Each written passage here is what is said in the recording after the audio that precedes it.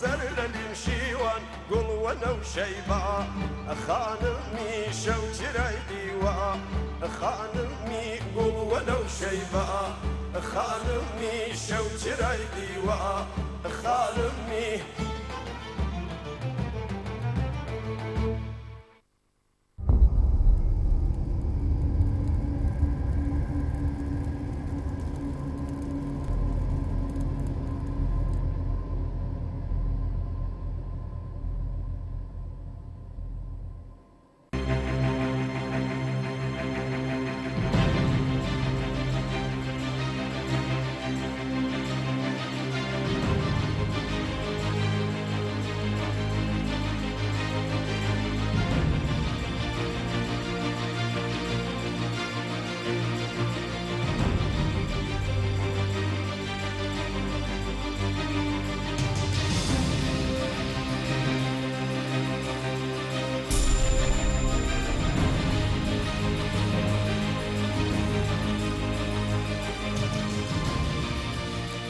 درود و سلام خدمت شما بینندگان عزیز تلویزیون نوروز. در خدمت هستیم با برنامه دیگر از دیدگاه. طی روزهای شنبه و یک شنبه هفته گذشته 19 و 20 آوریل نشستی در سوئد برگزار شد تحت عنوان نشست مشاوری ملی برای شرق کردستان. بحث های این نشست پیرامون دستیابی به راهکارهایی برای ایجاد گسترش و توسعه و رشد اتحاد ملی در میان کردهای شرق کردستان و شمال خراسان. هدف کنگره ملی کردستان از برگزاری این نشست افزایش تلاش ها در جهت نزدیکی هرچه بیشتر نیروهای سیاسی در این مناطق بود و خصوص شرق کردستان و خراسان شمالی. دعوت کردیم از دو تن از اعضای کنگره ملی کردستان که میزبان این نشست بود در حقیقت کنگره. در برنامه امشب ما حضور داشته باشند. خانم جاله محمدی و آقای حادی صوفیزاده. خانم محمدی بسیار خوش آمدیم به برنامه ما. خیلی ممنون. قبل از اینکه منم برنامه شروع بشه می‌خوام سلامی داشته باشم خدمت بینندگان محترمتون و همچنین کانال نوروز تیوی و سپاسگزاری می‌کنم از اینکه ما رو به این برنامه دعوت کردید. متشکرم از شما. آقای صوفیزاده شما خیلی خوش آمدین. سلام دارم خدمت شما و بینندگان عزیز تلویزیون نوروز. خیلی متشکرم ازتون. پرسشم رو بحث امشب ما کلا در رابطه با نشستیه که برگزار شد اهداف اون بحث هایی که انجام گرفتند مسائل حاشیه‌ای و مجموعاً اون چرا که این نشست می‌خواست عنوان بکنه. خانم محمدی برای آغاز صحبتمون نشست در رابطه با علت وجود یا موانع و مشکلاتی بود که در شرق کردستان بخصوص نیروهای سیاسی با اون روبرو هستند و دستیابی به راهکاری بود برای کم کردن این مشکلات یا این فواصلی که در بین نیروها هست. شما کلا مشکلات شرق کردستان رو چطور می‌بینین؟ چه مشکلی رو در اونجا عمده و اساسی می‌بینید؟ بله متاسفانه بحث از مشکل و مشکلات مخصوصا شرق کردستان خیلیه و فکر کنم توی برنامه دوتا برنامه نتونیم که در موردش بحث کنیم به خصوص الان هم که می‌بینید یعنی الان کردستان که به چهار بخش تقسیم شده مخصوصا بخش شرق کردستان یا حالتی به نسبت سه تا بخش دیگه کردستان در وضعیتی من می‌تونم اشاره بکنم خیلی بدتری قرار داره متاسفانه. فاکتورها که خیلی زیادن مشکلات که خیلی زیادن ولی یه فاکتور اساسی و مشکل خیلی اساسی که می‌تونیم ما تو این برنامه بهش اشاره کنیم مسئله عدم فعالیت منسجم و کارای احزاب کردی در این بخش از کردستان. ببخشید. در این بخش از کردستان برای آگاه سازی مردم. چون واقعا اگه احزاب کردی بتونن از لحاظ آگاه سازی مردم اون توانایی رو داشته باشن و منسجم عمل کنن خیلی از مشکلات ما در این بخش می‌تونه خودش به صورت اتوماتیک چاره یعنی چاره ساز باشه. پس شما انتقاد می‌کنید از نیروهای سیاسی که نتونستن در حقیقت به وظایفشون به درستی عمل بکنند صد در. شرق کردستان؟ صد بله. چون الان ما بخوایم یا نخوایم سیستم یه جوری داره عمل می‌کنه به خصوص در مناطق کردی یک فضایی رو ایجاد کرده که مردم از لحاظ فرهنگی از- همه لحاظ فرهنگی اقتصادی اجتماعی سیاسی در یه سطحی از پایین تر از جامعه قرار بگیرن. و واقعا اگه ما احزاب کردیمون ادعا می‌کنن که بله ما هدفمون یه انقلاب مخصوصا در بخش کردستان می‌تونن خیلی چاره ساز باشن. ولی متاسفانه اونم فاکتورهای خاصی رو داره که عرض کردم توی برنامه دو تا برنامه نمی گنجه.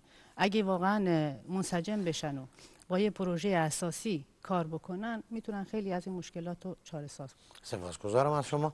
آقای صبحیزاده اه، شما هر دوتاتون از اعضای کنگره ملی کردستان هستید.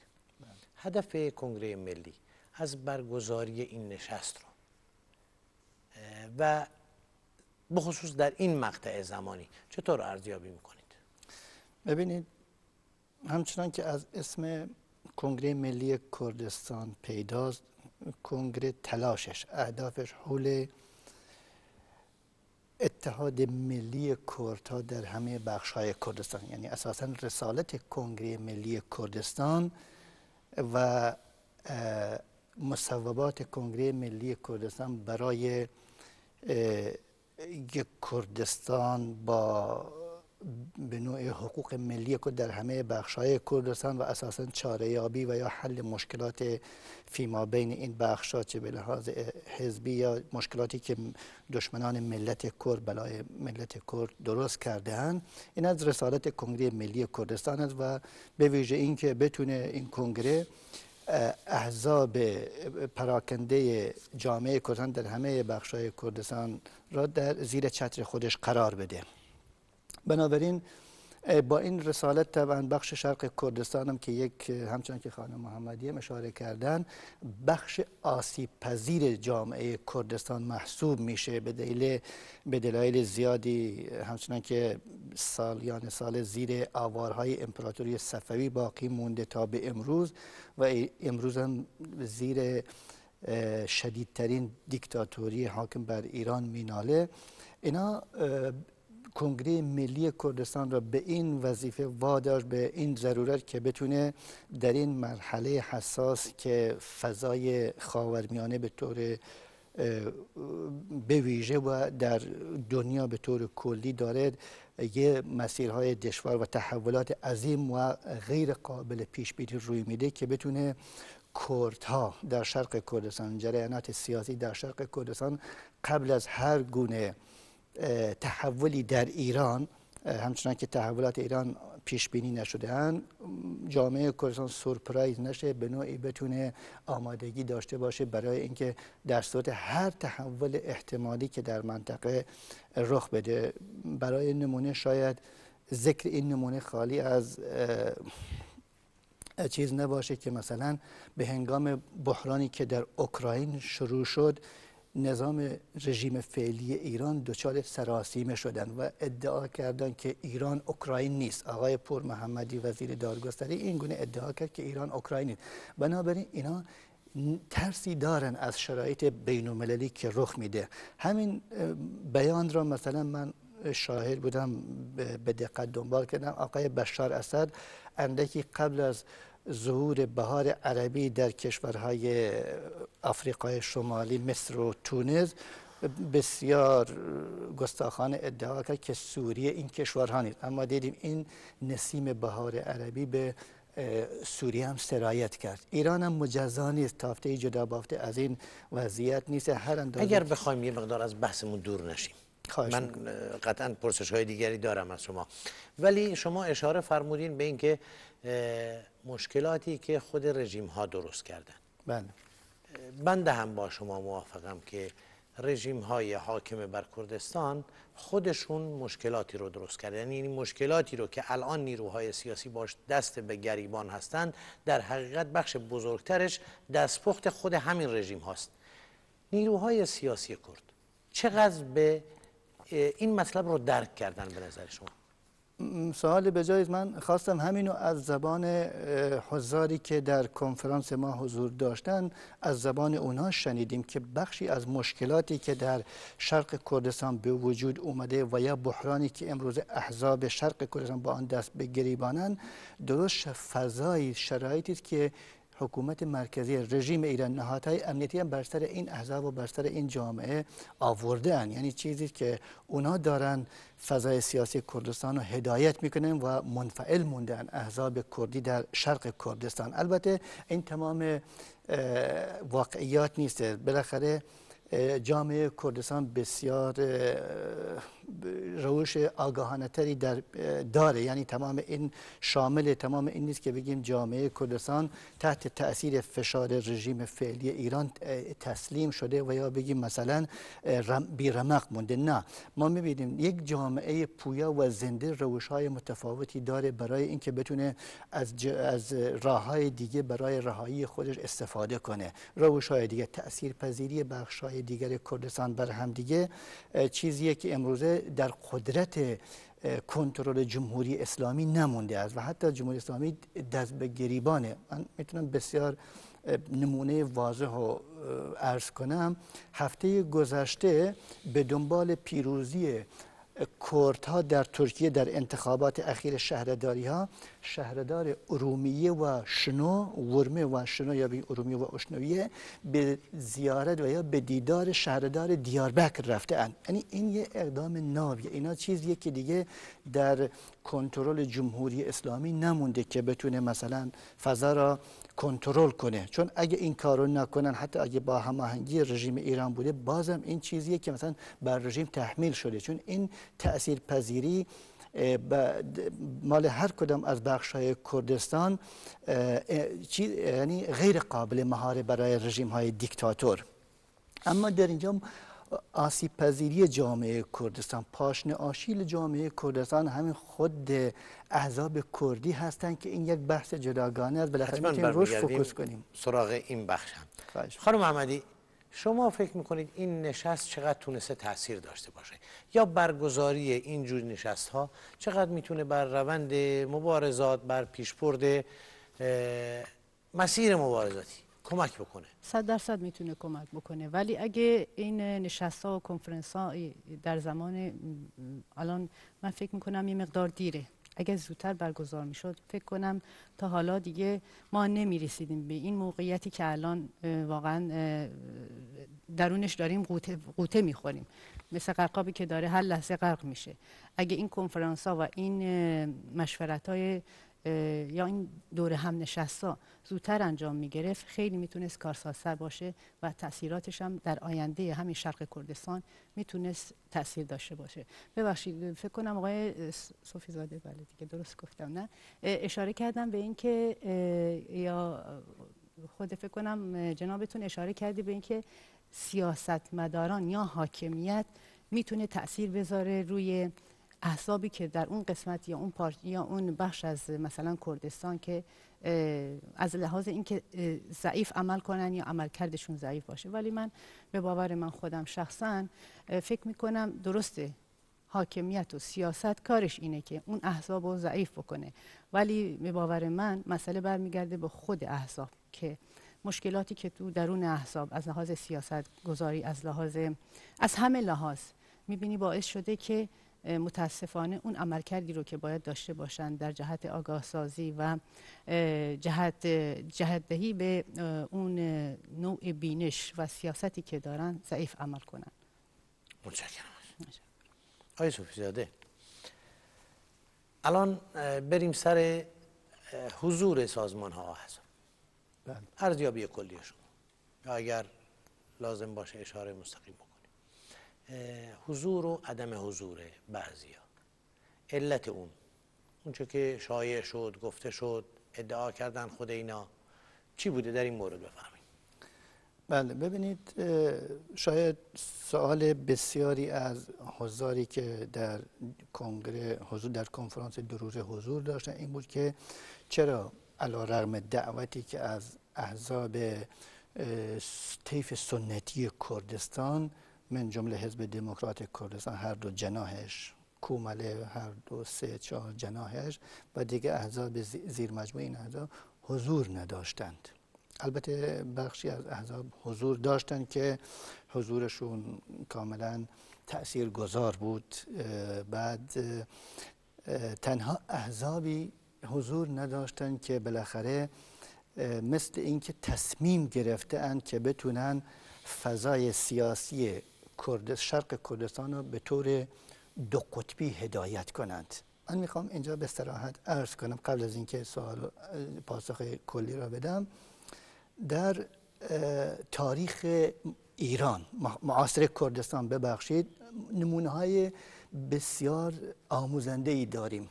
یعنی روزی که جمهوری کردستان تأسیس شده ملت کرد بوده در کتاب دکتر قاسملو هستش چهل سال مبارزه. از ماکو پای پیاده برای استقبال از این جمهوری به مهابات با پای پیاده اومده. در نمونه هستش در قامشلو در غرب کردستان بوده که مثلا گفته من می‌خوام به حج برم. گفتن ازش پاسخ گفتن که مسیر حج اینور نیست. گفته مسیر حج من مهاباده. ببینید این دیگه مردم عادی بوده.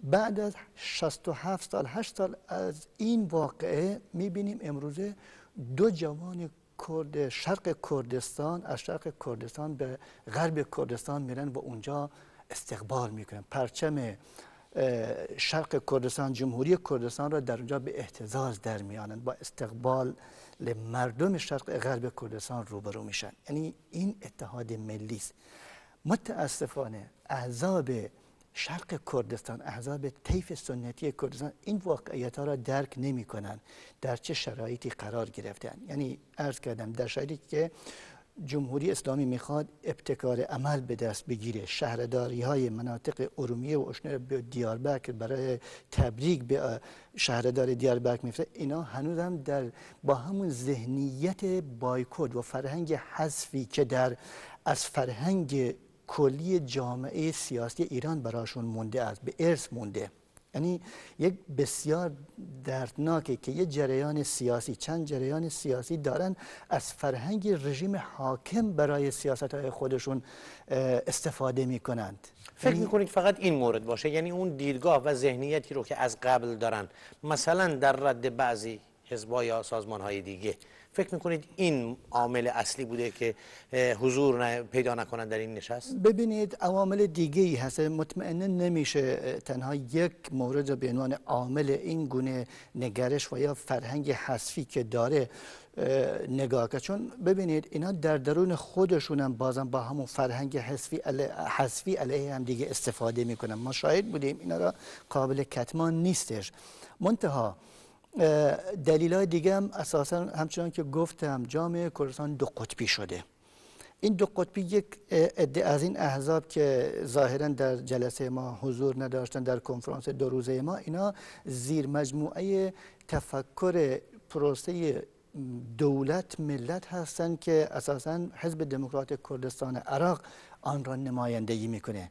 در حالی که اینا خودشون درک درستی از سیاست های حزب دموکرات کردستان عراق ندارند. یعنی اینا دچار نوع خودسانسوری شده از فرهنگ حذف به خودسانسوری روی آورده اند.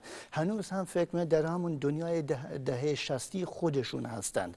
یعنی جای آنچه درناکی همینه. حزب دموکرات کردستان بسیار درست عمل می‌کنه. یعنی نمونه داریم در, در حالی که در حاکمیت هستش در مسئولیت مردم به عهده داره هدایت جامعه را به عهده داره دارد با احزاب دیگر طیف مخالف در در مذاکره از راه های مذاکره و یا به نوعی دارن, دارن. یعنی من برای نمونه بگم چند روز پیش یکی از اعضای کنگره ملی کردستان محمد امین پنجوینی در دیدار با آقای نچیروان بارزانی آقای نچیروان بارزانی گفته که ما در نزدیکترین زمان مشکلاتی که ما با حزب کارگران کردستان داریم و یا با حزب پیده اینا رو به زودی برطرف می‌کنیم یعنی اینا در بدترین شرایطی که طبیعی در جامعه کردستان. بازم راه مذاکره راه راه راه حل را برای خودشون محفوظ میدارن. اما در اینجا احزاب شرق کردستان حتی نمی‌تونن از الگویی که برای خودشون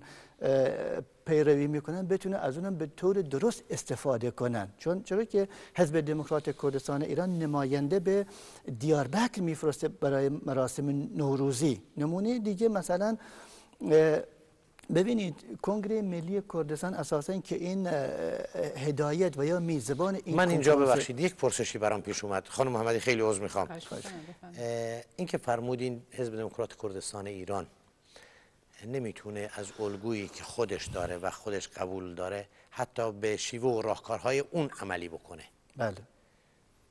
این رو نمیشه گفت یعنی به تعبیری خیلی ها میگن همین حزب دموکرات کردستان ایران به ابزاری تبدیل شده. متاسفانه باید قبول کرد. واقعا اینا ابزار واقعیت خارج از سیاست حزبی هست. من می‌تونم یه تعبیر دیگه ای دارم برای احزاب سنتی کردستان که شاید بگم اینا دارن به نام سیاست دارن زندگی می‌کنن. به یعنی در واقع به نام ملت کرد برای خودشون زندگی می‌کنن. یعنی کل 22 سال 22 چند سال حضور اونا در در جنوب کردستان و اساسا سیاست هاشون یعنی اینو به ما میگه. اینو من به نوعی با, با جرأت می‌تونم اینو بگم. زندگی می‌کنن در واقع. یعنی شما ببینید ما در اسناد احزاب شرق کردستان سایت هاشون یا روزنامه هاشون رسانه هاشون چیزی رو به دست نمیده که بگیم اینا خارج از مسئله این چارچوبی برای خودشون حس کردن که چیزی برای گفتن داشته باشند. یعنی همین سرگردانی سیاسی در در افکارشون واقعا برای کسی بر کسی پوشیده نیست. یعنی ما می‌دونیم اینا به در جریان جنبش سبزم اینا به نوعی سرگردان موندن. یعنی سخنی برای گفتن نداشتن. این بسیاری از حالا میشه از جهات دیگه هم بالاخره این نوع زندگی کردن به نام سیاست رو میشه تفسیر کرد که یعنی یک امری بدهی است در سیستم کاری اونا. آقای صوفیزاد خیلی ببخشید.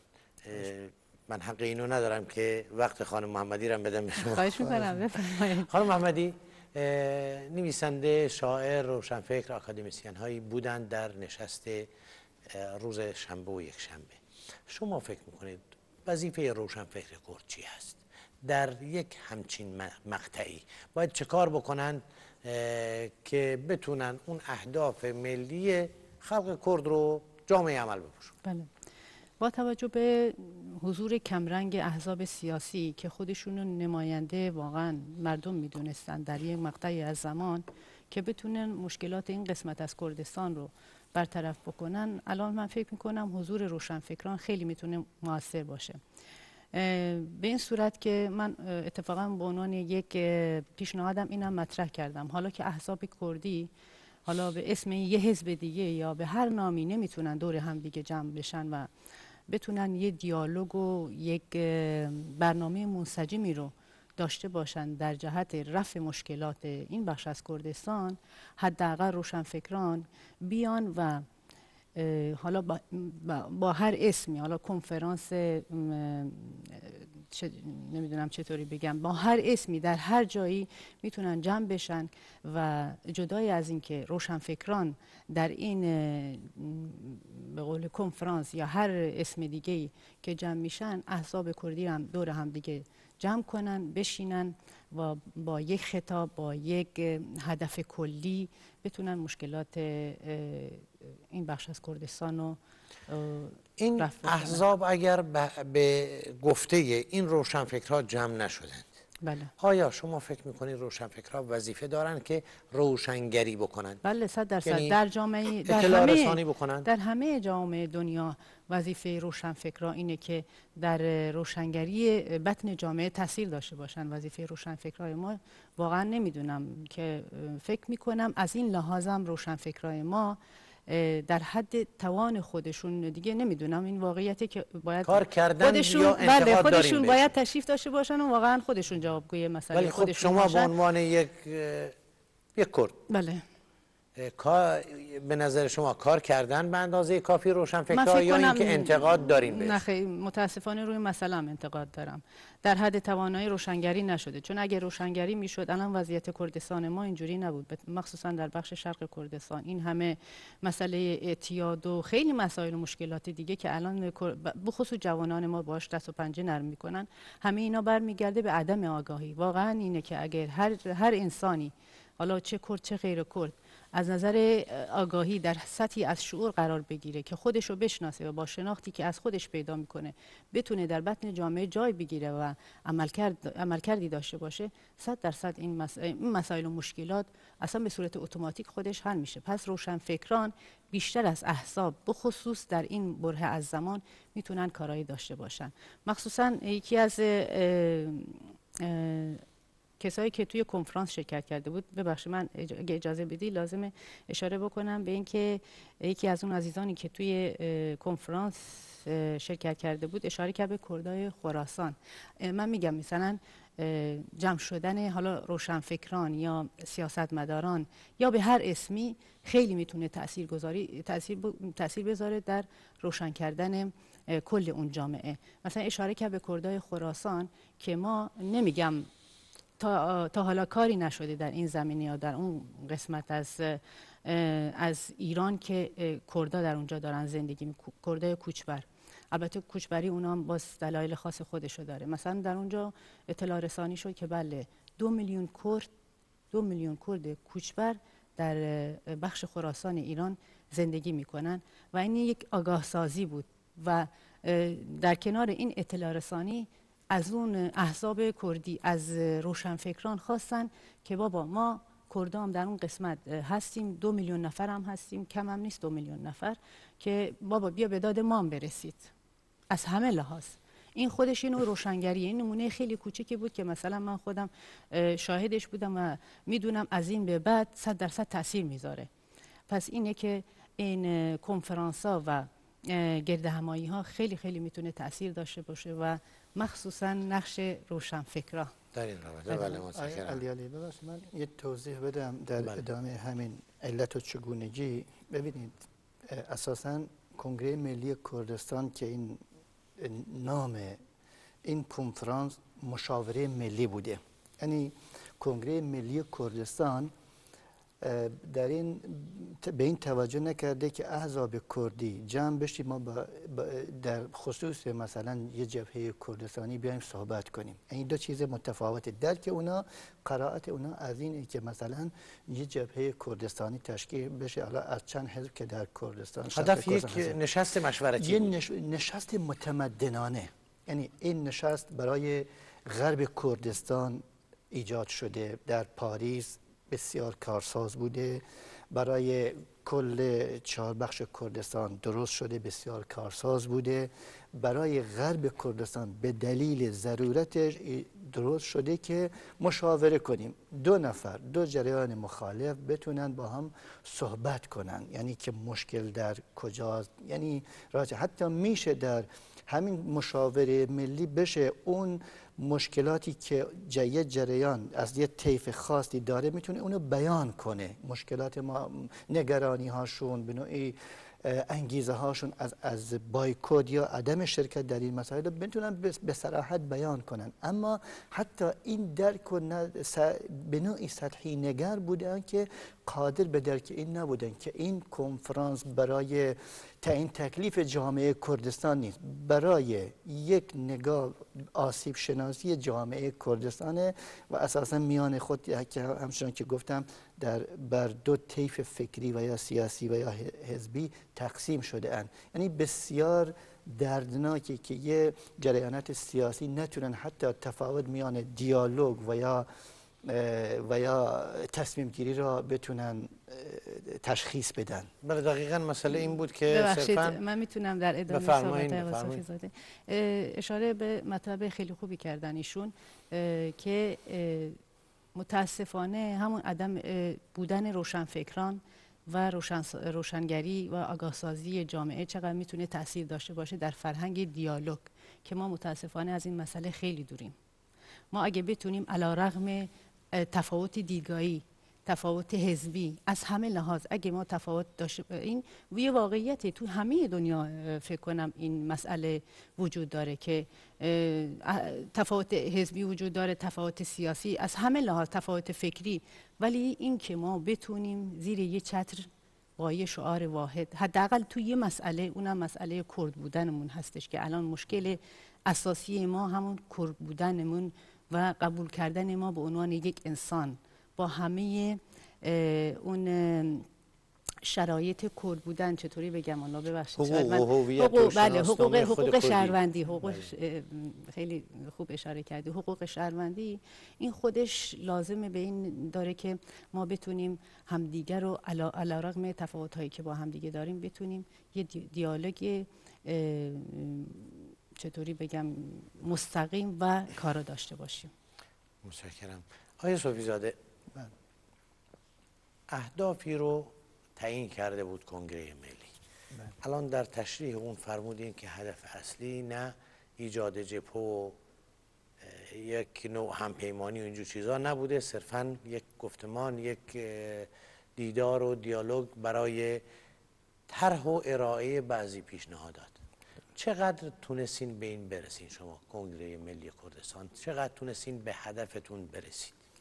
ببینید ما تونستیم خوشبختانه اولین سنگ بنای یه اتحاد ملی در کردستان ایران یا شرق کردستان بنا نهیم. بسیار مهم بود. یعنی حضور افرادی که در کنفرانس حضور داشتن. ما تا کنون از نقاط ضعف یا بگیم از بخشایی که افراد یا جرند که حضور نداشتن صحبت کردیم. اما در واقع وزنه خوبی در کنگره حضور داشتن در کنفرانس. افرادی بودن که وزنشون از یه حزب سنگینتر بود.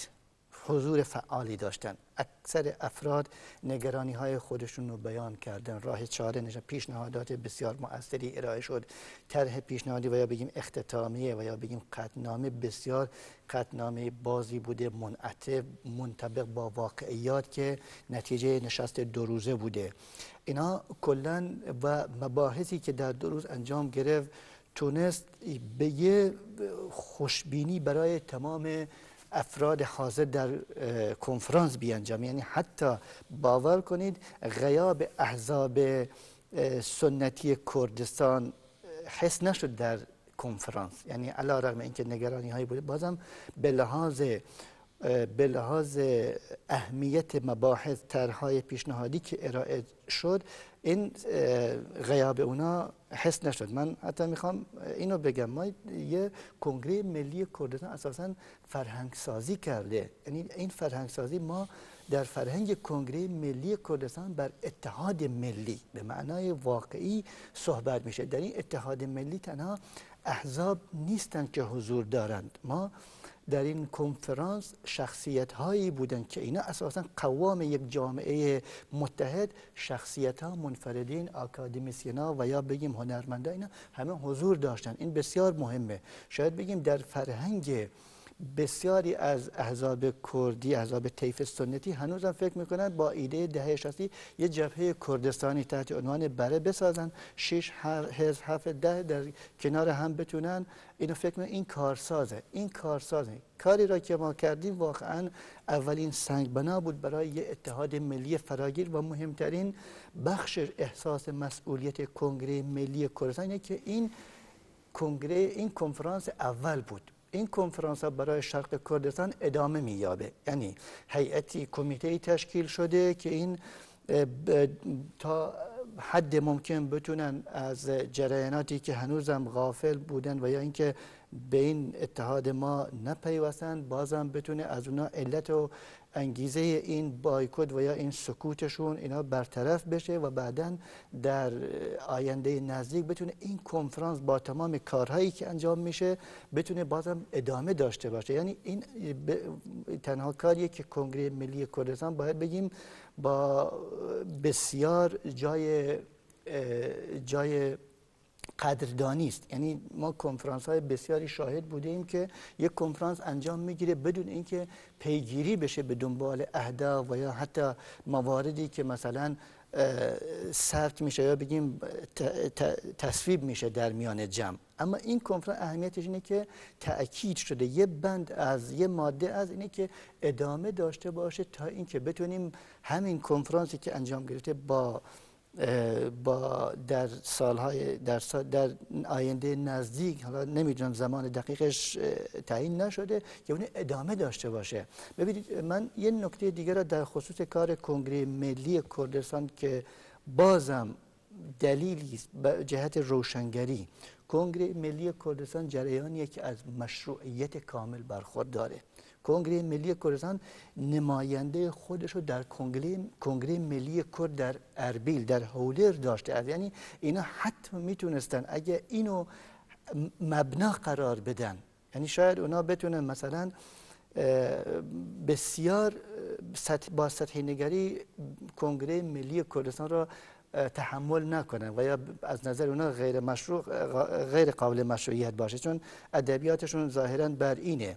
اما کنگره ملی کردستان یکی از کنگره هایی بوده که مثلا در اربیل در کنگره کرد حضور داشته. یعنی این مشروعیت کنگره. بله بله بله جز کمیته بعد کنگره ملی فقط افرادی که در شرق کردستان در کنگره ملی خارج از احزابی که هستن حضور دارن خودشون کیفیت یک حزب دارن. یعنی من کم حزب می‌دونم به اندازه کنگره ملی کردستان افرادشون در افراد شاخص و برجسته دارد اما رسالت کنگره ملی کردستان حزبی نیستش. این خواستم از اون منظرم بازم عقب و غافل ماندن که کنگره ملی کردستان صرفا کارش اتحاد ملت کرد در همه بدون تبعیض بدون اینکه مثلا بتونه کنگره ملی بخواد دیدگاهی برای شرق کردستان داشته باشه. همه را به یه چشم یا بگیم با یه دیدگاه با, با یه اهداف دنبال می‌کنه. حالا تنها شاید بگم شما قبلا هم گفتی بازم اونم بی پاسخ نمونه.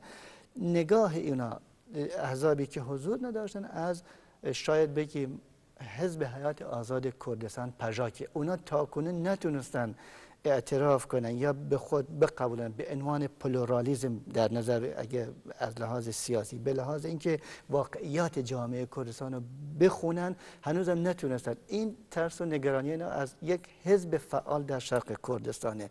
در حالی که اگه ما بخوایم تفسیر کنیم فضای سیاسی را به لحاظ منطقه‌ای ما در خاورمیانه هلالی داریم به عنوان به نام هلال شیعی که از پاکستان تا لبنان این هلال یه جغرافیا رو در بر می‌گیره. زیر این هلال یه هلالی هستش هلال زاگروس که کلا کردستانه. در درون این هلال زاگروس و یا به در یک هلالی ظهور یافته به عنوان من می‌تونم اینو این تفسیر خودمه هلال اوجالانی تفکر اوجالان این هلال که از غرب کردستان ظهور یافته به شمال کردستان در بر میگه و امروز این به عنوان یه در غرب در شرق کردستان میدرخشه. یعنی یه بسیار واضحه. این هلال یعنی با بایکوت و با نمی‌دونم با یک سری رفتارهای کودکانه قابل کتمان نیستش. اینا باید بتونن با این هلال اوج... تفکر اوجالانی بتونن کنار بیان. کنار بیاند. متشکرم از شما. خانم محمدی بله. در همه بخش های کردستان شاهد حرکاتی هستیم. الان در غرب کردستان انقلابی هست جنگ هست دفاع و مقاومت هست. در شمال کردستان حرکتی هست در جنوب کردستان و در شرق کردستان هم حرکت به خصوص خود. فکر می‌کنید پیشرفت هر یک از این بخش های کردستان چقدر می‌تونه مؤثر باشه بر بخش های دیگر؟ بله در تاریخ ملت کرد اگه در نظر بگیریم مثلا می‌بینید در یک بخش از کردستان اگه حرکتی چه از لحاظ سیاسی یا هست همه لحاظ اگه حرکتی شروع شده استارتش زده شده بخوای یا نخوای تو بخشای دیگه کردستان تاثیر گذاشته. حالا بعضی بعضی موقع به صورت مثبت بعضی موقع متاسفانه به صورت منفی. مثلا الان ما اگه در نظر بگیرین همین مسئله آپویسم که آقای صوفی زاده بله اشاره کردن.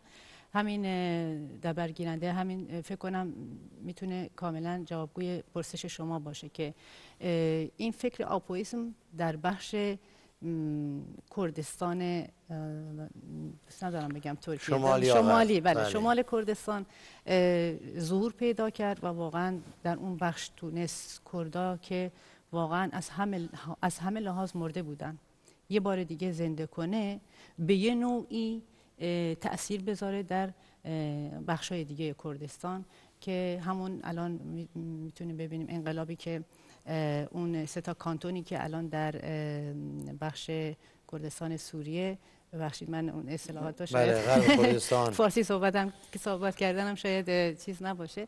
بعد خیلی تاثیر گذاشته و الان ما نمودش داریم اونجا می‌بینیم. از این لحاظ که واقعا اونجا اونا تونستن پیروزمندانه عمل بکنن و خود, خود, خود گردانی خودشون اعلام کردن و الان دارن در اون قسمت دارن از اون ایدئولوژی نیرو می‌گیرن و دارن کاراشون خودشون دارن خودشون رو اداره می‌کنن. در بخش بگیم شرق کردستان هم تاثیر, تاثیر خودش رو گذاشته و نمود همین تفکر رو ما می‌تونیم آپویس ما می‌تونیم در حرکتی به اسم حزب کردستان پژاک حزب آزاد کردستان می‌تونیم ببینیم که چقدر تونسته تاثیر بذاره و این میرسونه که صد درصد اگر یک در یک بخش از کردستان حرکتی فعالیتی تفکری شکل بگیره بخوایم نخوایم در بخش دیگه کردستان تاثیر می‌ذاره. متشکرم از شما. آقای در رابطه با همین صحبت های خانم محمدی حسن جمال روزنامه‌نگار ترک روزنامه‌نگار بسیار مشهوری هست. بله. به غرب کردستان رفته سفری گسترده کرده و در قالب یک گزارش پخش کردن. فکر می‌کنم در خبر ترک کانال تلویزیونی ترکیه هم پخش کردن. گفته به هر جای کردستان که میری می‌بینی آپو اونجاست. دقیقا جملش اینه. و همه عنوان کردند که آپو یا آقای اوجلان ستون فقرات انقلاب کردستان انقلاب روژاوا و اتحاد خلق هاست بله. در قطنامه پایانی نشست. مواردی اومده بود که من یک خلاصه کوتاهی رو از این دارم. تأکید بر گفتمان و تعامل میان نیروهای سیاسی کرد. در بند اولش بود. روشنفکران خود کرد باید بر تلاش های خودشون اضافه بکنند. افزایش تلاش ها در جهت مبارزه با خشونت علیه زنان و گسترش سطح سازه های مدنی و فعالیت های رسانه ای افشای واقعیت های سیاست های رژیم ایران در قبال خلق ها از طرق دیپلماتیک و افزایش کارهای دیپلماسی یک نکته جالبی که بود از نظر من تلاش برای یکی از بندها بود تلاش برای ارتقاء سطح مبارزات مشترک خلقها در ایران برای ایجاد جامعه آزاد و دموکراتیک از جمله یکی از این بندها بود بله. در این مورد شما بفرمایید احتمالا وقتمون کم مونده باشه بله. ببینید امروزه خارج از از تأثیر پذیری و یا تأثیر گذاری هر کدام از بخش های کردستان بر همدیگه که بحث مورد شما بود مبارزات تأثیر مبارزات ملت کرد بر ملت عرب و ترک آذربایجانی و یا بلوچ و یا ترکمن ها کاملا واضحه. یعنی تأثیر پذیری و تأثیر گذاری در ایران جا چند ملیتی کاملا واضحه. کنگره هم کنفرانس دیروز هم با درایت به این مسئله اشاره کردم و به عنوان یکی از بندها تصویب شد چرا که ما می‌بینیم که در آذربایجان فعالیت هایی هستش که امروز آذربایجان جنوبی پارلمان در تبعید خودشون تشکیل دادن در اروپا. طبیعی که این ماه خوشحالی ما کرتاست که ترکا می‌تونن در این اگر تا دیروز مثلا در یک فضایی بودن که با یک سری اشتراکاتی که با جمهوری اسلامی و یا با ملت حاکم داشتن اشتراکات مذهبی امروزه دارن می‌بینن که تبعیض رنجی را که مثلا کورتا داده اند تبعیضی را که کورتا از سیستم مرکزی دامنگیر اونها هم شده. بنابراین این یه پیوند و یا بسیار سرنوشت ساز برای ملت های غیر فاز در یعنی که بدون این اتحاد خودشون رو حفظ کنن و بر این همکاری مشترک تأکید داشته باشن. به همین دلیل میشه که بگیم شاید این یکی از درایت کار کنفرانس افرادی بودن که در اونجا حضور داشتن و بر این مسئله تأکید نمودن. اما در خصوص هر کدام از بندهای دیگر هم که فرمودید اشاره کردی اساسا یکی از نقاط دیگر با اهمیت مسئله به نوعی کورتای خراسان و یارسان درد اونها به نوعی این همبستگی که بتونه بیلفرض برای اولین بار بودی که مثلا ما کورتا در خراسان تونست این پیوند روحی و عاطفی را با هم در یک کنفرانس به میان گذاشتیم. نمایندگانی از خراسان کردستان خراسان اومده بودن حضور داشتن و کورتای سازمان دموکراتیک یارسان در کنگره حضور فعال داشته که اینا همه بیانگر این بود. سطح کنفرانس بسیار فراتر بود. یعنی جغرافیای کردستان رو پوشش داده بود. بر خلاف احزاب سنتی که بیشتر یک باگراوند مکوریانی دارن. این کنفرانس ما بیشتر کردستانی بود و شاید بگم به عنوان یک اقدام ناب بگیم برای اولین بار بود که مثلا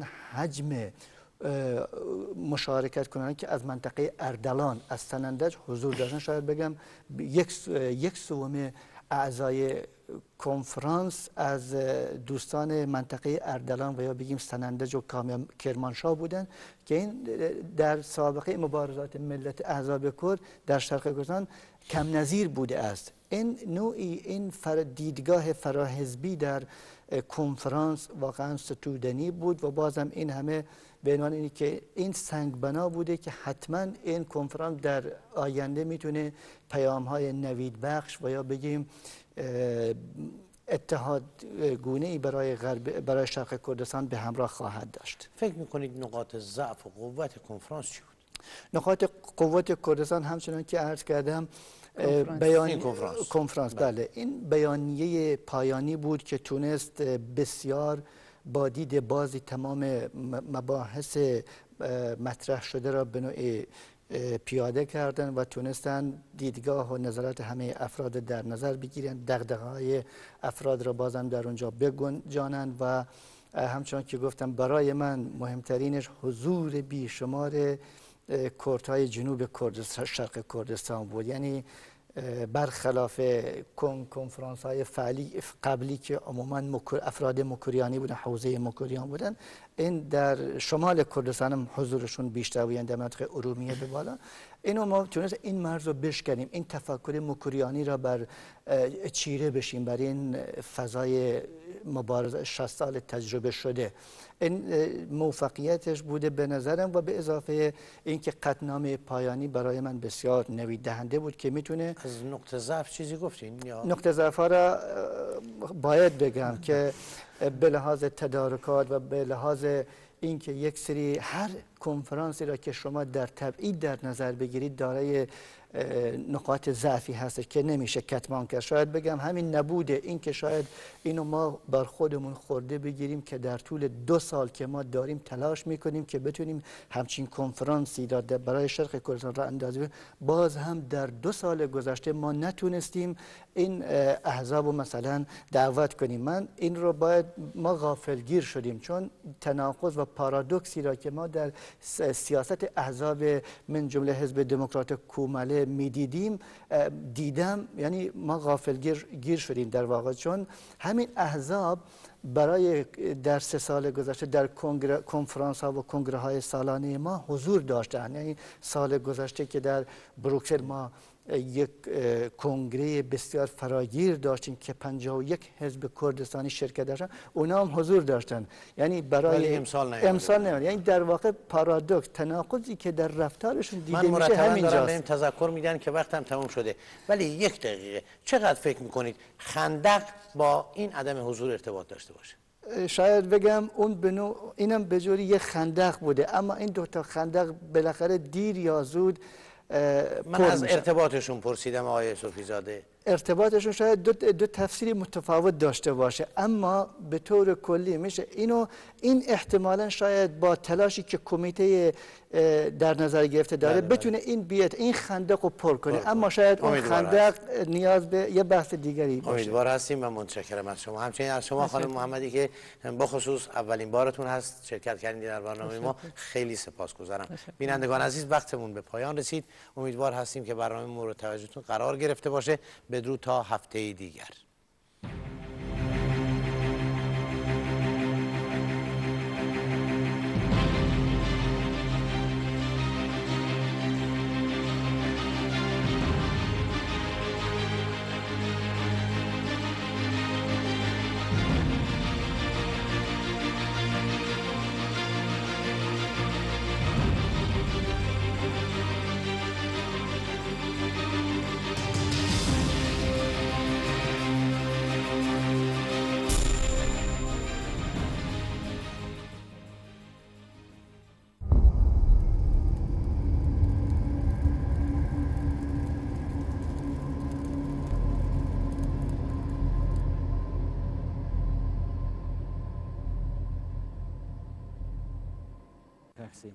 کاک حەمە دوێنە شوێ لە پرۆڤەدا من گۆرانێکی جەنابەت تو بزانمی مەرحومی ئەحی خولەسنەی بوو. وا بزانم خاطرات و بیرەوەری زۆر دای کاکە حی خولەسنەی هەیە وەکو نارمەندێک ئەگەر هەندێک باسمان بۆ بکەی زۆر سپاس دەکەم. سپاس بۆ تۆش. پێشەشی زۆر سوپاسی جەنابت و ئەو برادرانی مۆسیقاکەم ئەو تیپە خەنجیلانێ و زۆر سپاسی بینەناری خۆشەویستەکەم لە لە ناوی کوردستان و لە هەندەرانیش. لە ڕاستیا من ویستم بیدایەتی ئەم بەرنمەیە یادی هوەرمەندێکی دەنگخۆشی میلەتەکەمان بکەمەوە. ئەویشکە کاگەحمەی خولەسنەیە کاگەحمەی خولەسنەی وەکو من بزانم هەر خەڵکی شاری سلێمانە و هەر لە مناڵیەوە بە هەژاری و داماوی و نەکبەتی گەورە بووە. بەداخەوە لە سەردەمی مناڵی ئەوە ئەوەندە مۆسیقا و هوەری کوردی ئیحتیمامی پێ نەدرا بوو لەبەر ئەوە کابراش لەبەرەوەی سەواری نەبوو. نەیتوانی بە تێر و تەسەلی خزمەتی هوەرەکەی بک بەڵام بە هەر حاڵ چەند کاسێتێکی لە دوای خۆی بەجێشت و خەڵکی دەنجیان زۆر پێخۆشەوە. منش بەش بە حاڵی خۆم دەنجی زۆر پێخۆشە. بۆیە ویستم لە یادی ئەحی خولسنەیە وەرانێکی هەیە کە کاتی خۆی خۆی وتوێتی. و نەشمیست دەستکاری هیچ کەلیمەیەکی بکەم. وەکو خۆی چۆن کا بەچی بە گۆرانی دەرێ بڕێ ئەوە ینی بۆیە من بەڕاستی پێماجی بوو. هەرەوە هوەری گۆرانی بخۆی پێیان خەڵک. چەمادەم باسی ئەو خۆڵ خۆشببوومان کرد. پێما بجێتی کە یەکەم گۆرانی بە یادی ئەو نمرە ماڵێ بەسەرچ بەڵفەسەر. دەسماڵی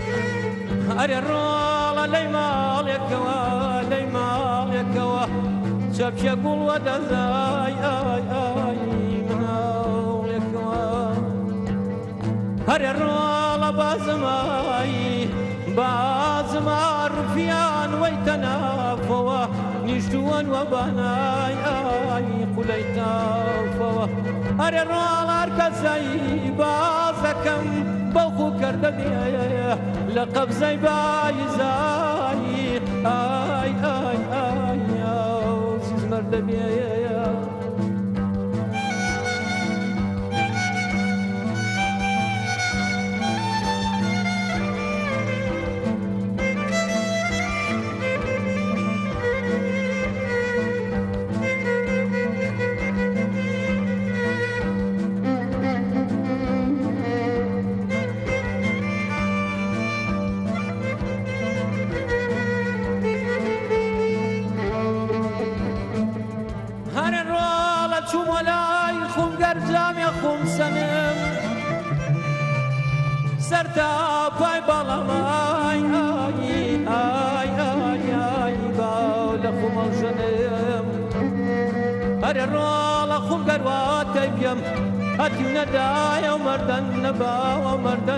ئەم قورتێوانەدای ڕاوی شەکردن.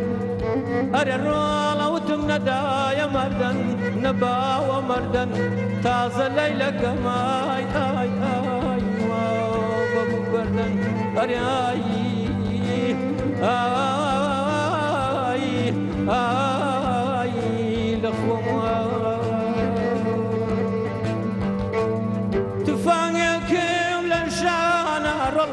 لك ما خدك اي شكاوى بس بالبواب الواكر وي وي في شاكم لبراوى خلشينا ما مكلومة اجوار دورم ليجي داوى خلشينا ما مكلومة اجوار دورم ليجي داوى لبيان جابوا يا لبيان جابوا خطوة يا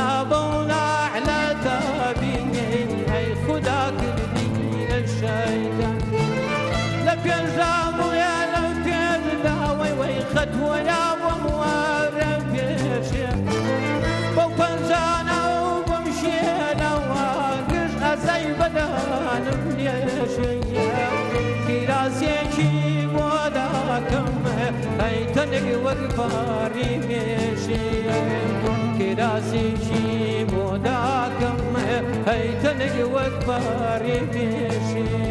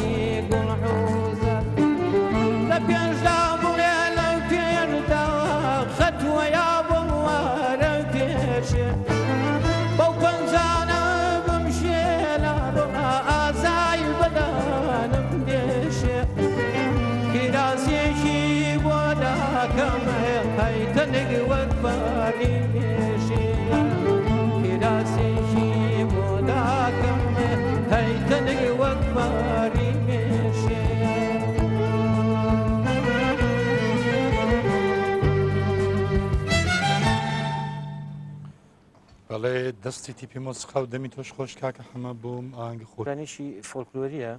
بله. آه، ئەوی ڕاستی بێ آه، من لە دەنجی گوێی کاک مەحەممەدی ناهیم جوێ بووە دنجی خوش یادیان بەخێر یادیان بەخێر دەنگی خۆش کارێکی جوێدەکی پیاوێکی به شخصیت و آه، ئینسانێکی ئەو کوڕی مەرحم فێزوڵاخانی ناهیدە باوکی گەورەترین دەتوان بڵم ڕەسامی ڕسامی کوردی ڕۆژەڵات بەڵێ ئەمە سلاویان لەکەین لێرە و لێر ڕایمە شەربەتر احترام و ڕێزمان بۆ هەیە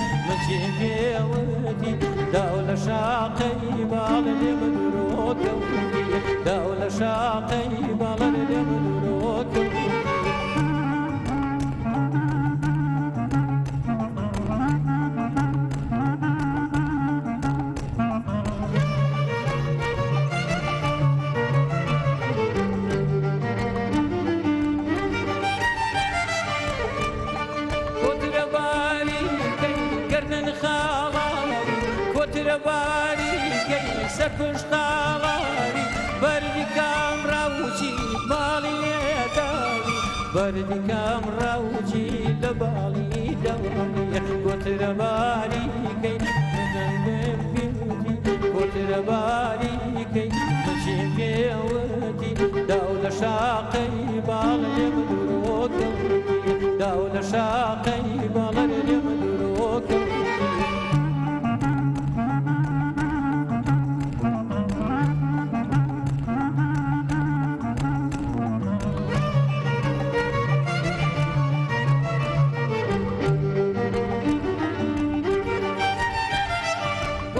باری کەی دەماڵ و لانا کۆترە باری کەی دەماڵ و لانا لە باڵی داوی تیری زامانە لە باڵی داوی ئەرە تیری زامانە کۆترە باری کەی مچێن پێوەدی کۆترە باری کەی مچێن پێوەدی داو لە شاقەی باڵ لێ منۆ کەوتی. داو لە شاقەی باڵ لێ مدرۆکەوتی